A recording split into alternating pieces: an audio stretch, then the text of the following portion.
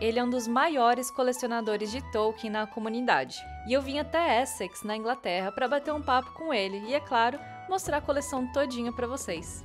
Olá, Tolkien Talkers! Eu sou a Gilson Sim, jornalista correspondente do TT aqui no Reino Unido, e hoje eu tô caminho da casa do Andrew Ferguson, mais conhecido como Trotter na comunidade tolkiana. E nesse primeiro vídeo eu vou bater um papo com ele. Mas antes se inscreva no nosso canal Tolkien Talk, no meu também, Gilson Sim, e também no Tolkien Guide, o canal do Trotter.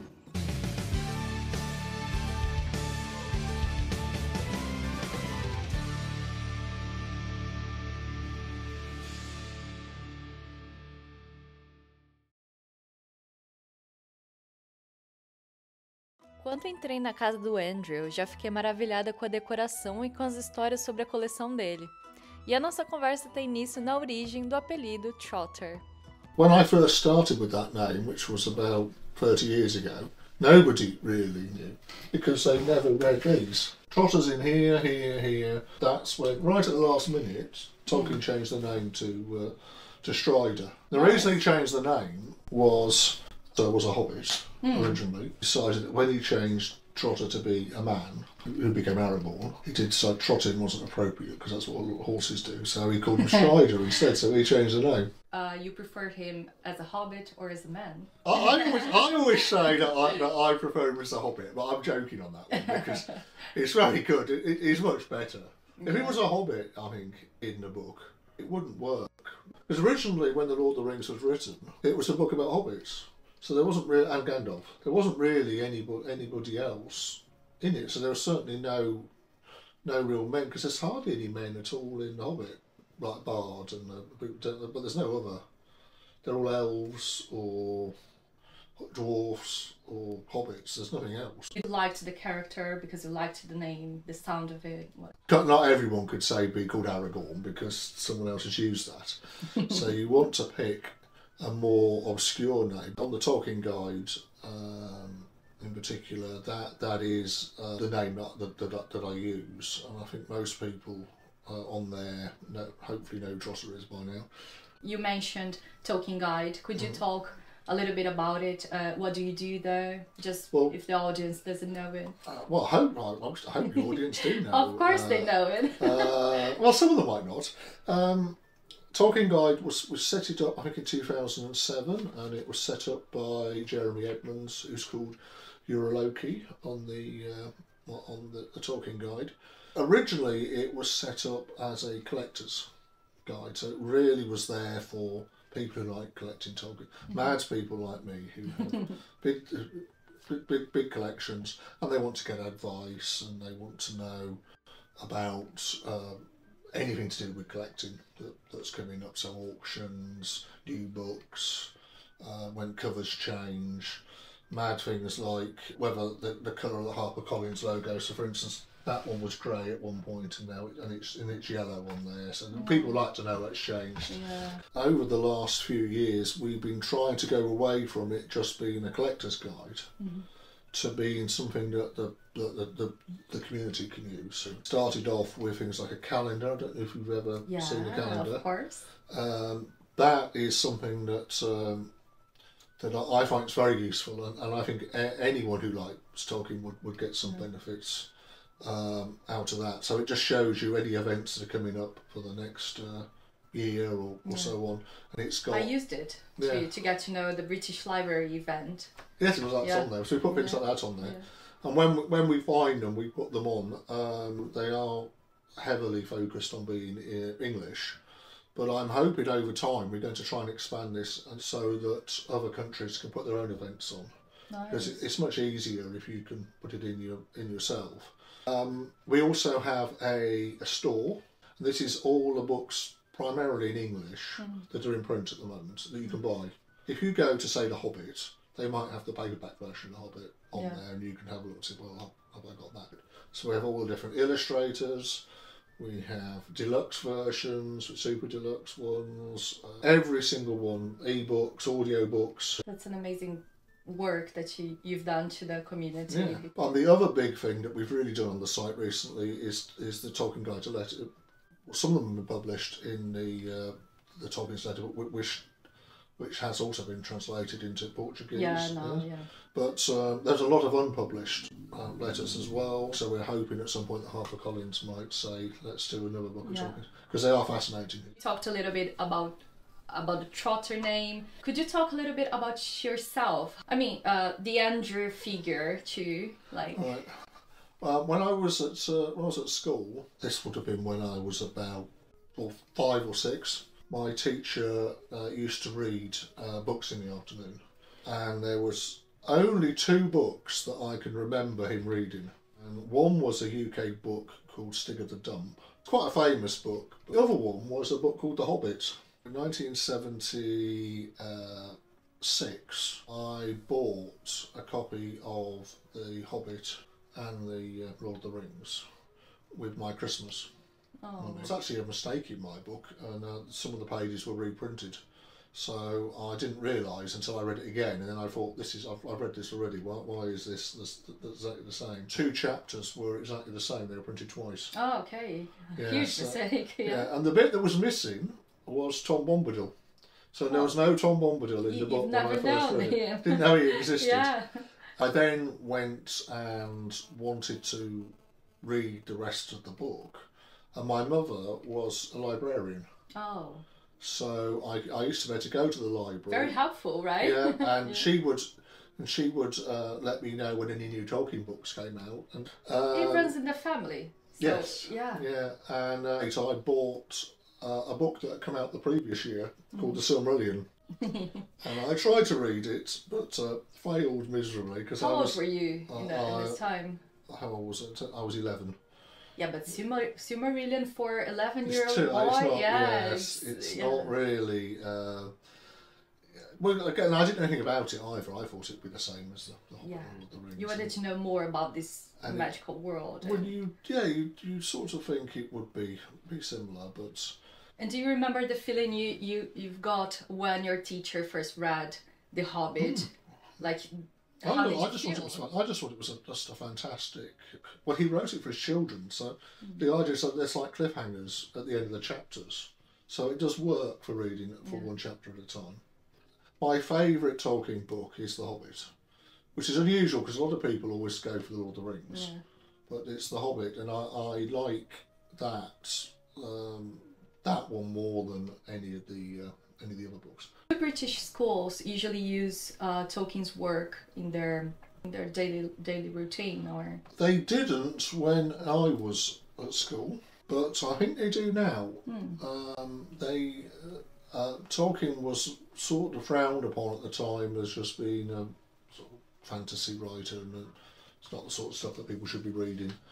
Um, but that's all changed now. He is now a one of our great British authors that he, he is taught at, at schools. But I'm hoping that uh, primary school teachers for young children still read The Hobbit to them because I think that's a great thing to do. And I, I'd encourage any teacher, if you want to read a book to your class, read The Hobbit. and do you have the first uh, book, the the Hobbit book, the first edition that you've bought? Oh, I do. Yes, you have it. Yeah, Yes. can you show us?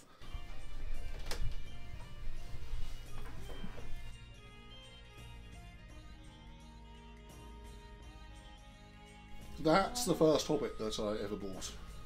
That's the first one. That's the first one. Can I see it? You can, yes. A few more since then.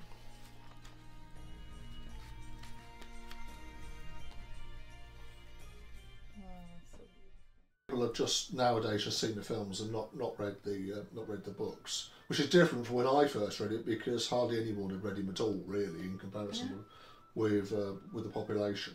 In those days, it was quite difficult to find these people, but nowadays with the internet and stuff like It's that, fascinating. it's so much more. It's so much easier to uh, to get to know people who who have a common interest. It could be a lonely path in the past, but nowadays it, it has changed. It's nice to be able to um, to to say do research into things. I've talked about the Tolkien's letters. To actually, that, that's something that I'm fascinated by. But when I go out and look at these letters and add them to the data, actually it doesn't just help me; it helps the whole community because they can now find out more about uh, letters that Tolkien uh, has written. It's a nice community. Curious actually with this next question. Maybe we can talk a little bit, but the um, Tolkien films are being uh, uh, the, the series is being adapted, and we had the Peter Jackson movie, so it's growing and Yeah. growing. New fans are coming, and it's important to have the adaptations uh, coming. Uh, did you like the adaptations, the movies, the series? I I liked the some of the adaptations. I I really liked. My favourite adapt, adaptation is the BBC Radio. Lord of the Rings, Peter Jackson films were, were, were, really good. And there's some, obviously there's some issues with them, but there's issues with all adaptations. The Hobbit films I thought were terrible. Uh, but I don't think I'm the only person who thinks that. They were. I think if there'd been one film and he stuck a bit more to the book, I would. I might have quite liked it, but not three films. It was just. It was just too much. Things like the Rings of Power. For me, the problem with the Rings of Power is it's not really Tolkien at all. Really, it's it's somebody else writing it. Even Christopher Tolkien was not uh, as good a writer. He acknowledged that as his father was, and I'm just so grateful though that that, that Christopher did manage to uh, publish so much extra material of his father's that we have so much to look at. If if you like uh, adaptions and you please go and read the books because I think you'll like them as well. you were born in the UK, and mm. for me, I was born in, in Brazil, and we don't actually see so many products or references, and we see it here. It was a huge, huge shock when I moved to the UK and I could see the landscape. It's like, oh my god, it's Tolkien here. Really like a dream come true because I could enter to Tolkien's world. So it's a huge privilege to be here. That's why I, I like to show and talk to people like you because it's a connection to the audience in Brazil and Latin America. That so I'm curious to know um, where uh, where can you see Tolkien uh, in your daily routine in Essex or in London or in England or other places you go. I think you can see Tolkien. You, you, you made the, the the main thing is the is the landscape. Tolkien, when he's writing about uh, Middle Earth, um, Middle Earth originally, uh, well, he didn't say this, but his, his, his publisher and his biographer, so various other people said that, that the whole thing really is, is to write a, uh, a, a legendary story about England. And England is the centre of the mythology to begin with. You actually look at a map of the Shire, uh, the map of Middle Earth, where the Shire is, that is England. Um, so what you're looking at is what Tolkien thought was the Shire. Tolkien was was trying to come up with something for England because um, after the, the, the Norman conquest in 1066, um, the, the language in in, um, in in tradition changed to uh, to be more French and Latin, and the Anglo-Saxon bit disappeared, and we lost a lot of the stories. So Tolkien was trying to write them uh, because they weren't there, because there weren't many stories around. So yes, I think you can see it everywhere when, when you when, when you look at the, the, the, landscape. The hobbits are meant to be English people.